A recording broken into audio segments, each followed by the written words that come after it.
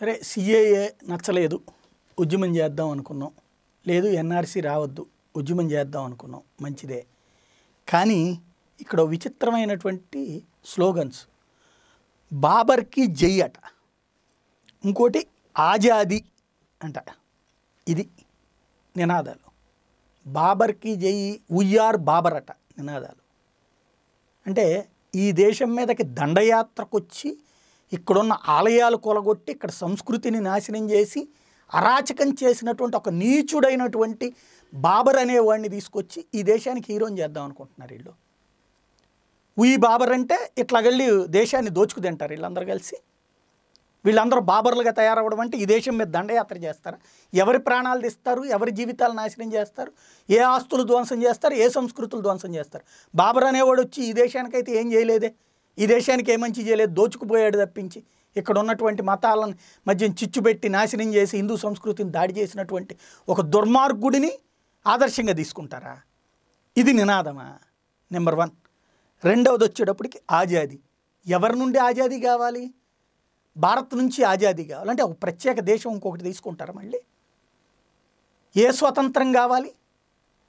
అంటే మరొక స్వతంత్ర దేశం తెచ్చుకుంటారా? ఇక్కడ ఈ నినాదాలు చేసేటువంటి వాళ్ళ లక్ష్యం ఏంటి? మరొక పాకిస్తాన్ని సృష్టిస్తారా? మరొక బంగ్లాదేశ్ని సృష్టిస్తారా? లేకపోతే మరొక ఆఫ్ఘనిస్తాన్ని సృష్టిస్తారా? భారత్ని ముక్కలు చేస్తామని ఓపెన్గా వచ్చి నినదించేటువంటి వాడు భారతదేశం పట్ల ప్రేమ ఉన్నాడా? భారతదేశం పట్ల ద్రోహే. ఆ ఆజాదీ కోసం తగలబెట్టేటువంటి వాడు ఈ దేశం పట్ల ప్రేమ ఉన్నాడా? ఈ దేశాన్ని దోచుకోవాలనుకున్న దుర్మార్గుడా?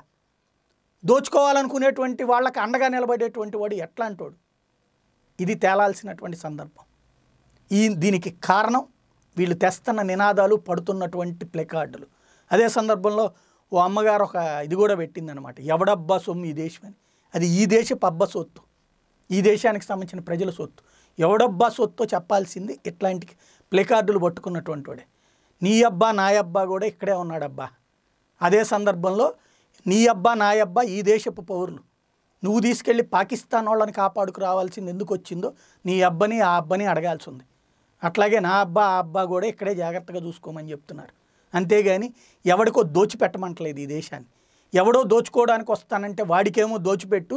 అదే సందర్భంలో నీ అబ్బా నా అబ్బాలకి తాతల కాలం నాటి ఉన్నటువంటి వాళ్ళకి వచ్చేటప్పటికినేమో ఇక్కడికి రానియొద్దు అని చెప్పేటువంటి ఈ ప్లెకార్డుల భాగోతం ఏంటో కూడా తేల్చాలి.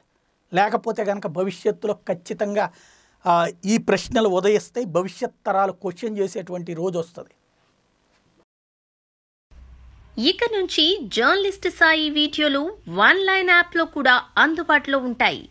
డిస్క్రిప్షన్లో ఉన్న లింక్ ద్వారా వన్ లైన్ యాప్ డౌన్లోడ్ చేసుకుని కేటగిరీలో ఉన్న జర్నలిస్ట్ సాయి ఆప్షన్ సెలెక్ట్ చేసుకోండి.